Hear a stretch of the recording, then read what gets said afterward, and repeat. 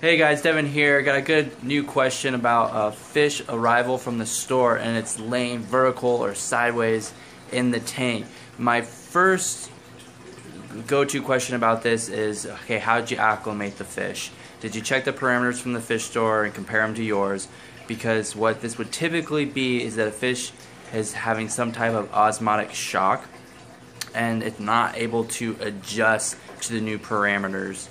So I would definitely go down that route if this were the case. If, usually what happen to a fish that's got a weaker immunity just to begin with, and so you might see it in some fish and then not other fish. So what do you do in this case if a fish is laying vertical on the substrate right after you get it home and it's maybe breathing heavy or something?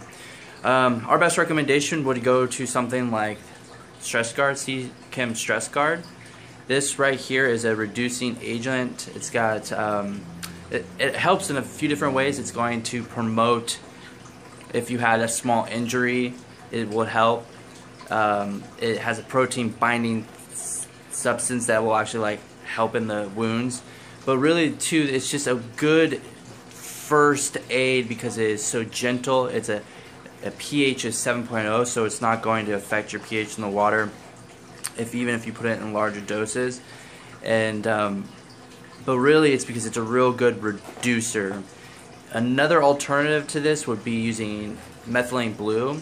This helps deliver oxygen to the body in a big roundabout way and maybe that would be very helpful. These two are harder to get in local stores so it's something you want to have on hand and also can be used as a preventative like during normal water change treatments. So that would be our best recommendation based on experience of what we've seen and I would just advise that you use prevention and acclimate accordingly.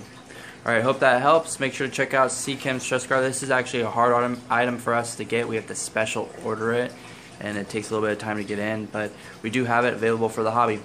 Alright, we'll talk to you guys next time. Bye. Hey, I wanted to do a quick add-on to this video just because I felt like I didn't explain it very well. But when I'm saying that this has reducers in this product, what I mean is it's a stress reducer, and that's what it actually says right here on the bottle.